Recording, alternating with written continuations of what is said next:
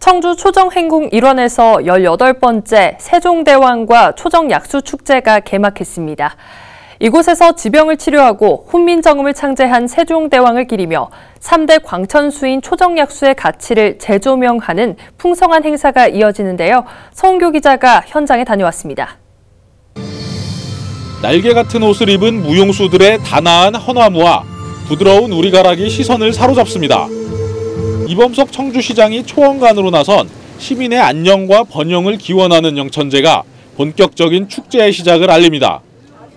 행궁 내부에선 붓과 한지, 배첩을 이용한 만들기 체험과 전통올레, 한복 체험을 즐길 수 있습니다.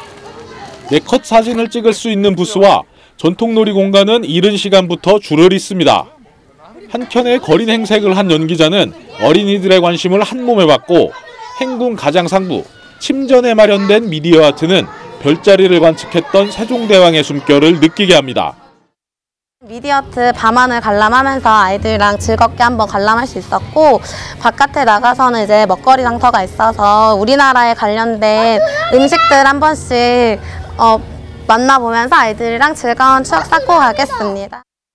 외부 먹거리 장터 초정 두름길에선 초정 탄산수로 만든 welcome drink가 주어지고 아이들을 위한 아해 놀이터가 올해 처음 운영돼 먹거리와 즐길거리가 더 풍성해졌습니다. 초정에 이렇게 행사가 첫날 이루어진다고 해서 애기랑 한번 나들이 나와봤는데요. 어, 오는 길에 안개 껴가지고 조금 날씨가 좀 안 좋으면 어쩌나 했는데 와보니까 날씨 너무 좋고요. 축제 기간 부대 행사로 마당극과 전국 학생 백일장, 밤마실 콘서트 등이 펼쳐지고 세종대왕과 소현왕후가 초정에 도착하는 모습을 재현하는 어가행차도 볼 수 있습니다. 다채로운 프로그램 또 먹거리와 볼거리가 풍성하게 준비를 했습니다.